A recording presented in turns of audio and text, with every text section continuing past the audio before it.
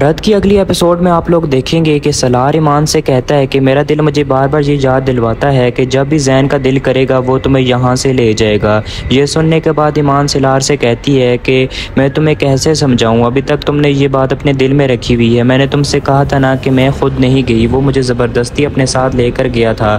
اس کے بعد دوستو، آپ لوگوں کو دکھایا جائے گا کہ جمیل عالم صاحب کے گھر طلاق کا نوٹس بھیجتا ہے۔ اس کے بعد دوستو سلار کے فادر زین کو اپنے آفس بلائیں گے اور اسے کہیں گے کہ تم سلار اور ایمان کو الگ کرنا چاہتے ہو۔ زین بولے گا جی ہاں سلار کے فادر بولیں گے، میں بھی یہی چاہتا ہوں۔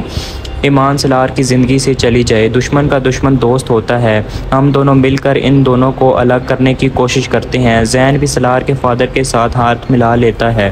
اس کے بعد دوستو، آپ لوگوں کو دکھایا جائے گا، زین سلار سے ملنے کے لیے اس کے آفس جاتا ہے اور اس کو کہتا ہے کہ ایمان ایک بہت ہی گھٹیا عورت ہے۔ تمہارے علاوہ اسے کوئی اور امیر لڑکا ملا تو وہ اس کی طرف چلی جائے گی۔ یہ سننے کے بعد سلار جو ہے وہ زین کو کافی زیادہ بےزت کرے گا اور اسے اپنے آفس سے نکال دے گا۔ اس کے بعد دوستو، آپ لوگوں کو دکھایا جائے گا کہ سلار کے فادر جو ہیں وہ ایمان کو اور سلار کو ایک دوسرے سے الگ کرنے کے لیے پوری کی پوری کوشش کریں گے۔ اور سلار کو بھی اس بات کا علم ہو جائے گا کہ میرے فادر زین کے ساتھ مل کر یہ سب کچھ کر رہے ہیں۔ اس پر جو ہے وہ سلار اپنے گھر والوں کو کہے گا کہ آج کے بعد ایمان کے خلاف کسی نے بھی کوئی بات کی تو وہ اس گھر میں نہیں رہے گا۔